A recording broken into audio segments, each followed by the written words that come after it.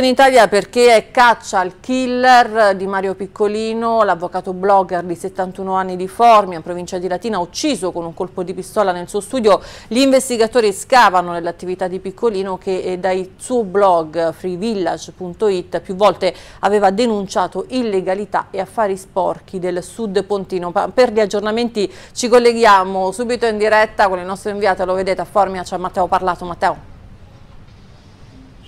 Buongiorno La Formia, innanzitutto domani alle 10 si terrà l'autopsia dell'avvocato e poi ci saranno quindi i funerali. Ma andiamo alle indagini, indagini a cui collabora anche la direzione distrettuale antimafia di Roma.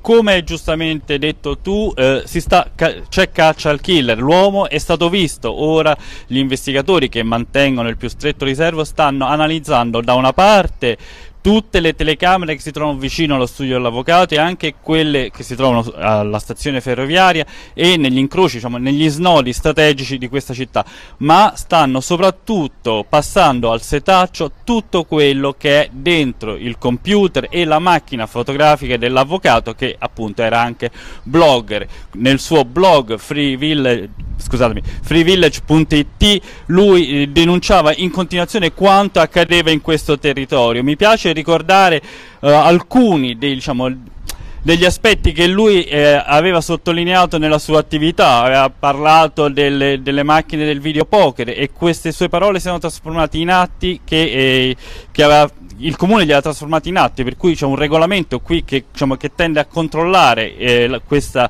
eh, questo tipo di macchine mangiasoldi. Aveva parlato della presenza di famiglie legate al clan dei Casalesi che sono qui e infine aveva seguito l'iter per l'assegnazione del patrimonio confiscato all'avvocato della Camorra eh, Cipriano Chianese che da poco è stato condannato con rito abbrevia abbreviato, quindi con una riduzione di un terzo della pena a, a tre anni e quattro mesi e dopo il suo omicidio venerdì scorso noi abbiamo seguito la grande fiaccolata, la risposta di questa città a questo omicidio. Vi, vi ricordo che l'avvocato è stato ucciso con un colpo solo in fronte.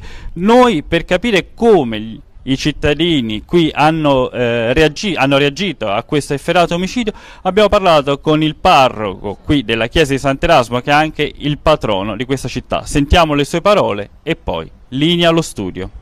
Ieri sera eh, la città ha espresso la sua voglia di legalità, di giustizia, eh, però c'è anche tanta eh, sofferenza per, per, una presenza dello Stato ridotta, è stato chiuso da poco il Tribunale di Gaeta e questo ci fa sentire meno eh, protetti, meno, eh, come dire, ehm, tutelati nei diritti e eh, nella giustizia e nella legalità su questo territorio che ne ha un estremo bisogno. Ancora qualcuno parla di infiltrazioni, qui la camorra, la malavita è organica al tessuto purtroppo di questa città.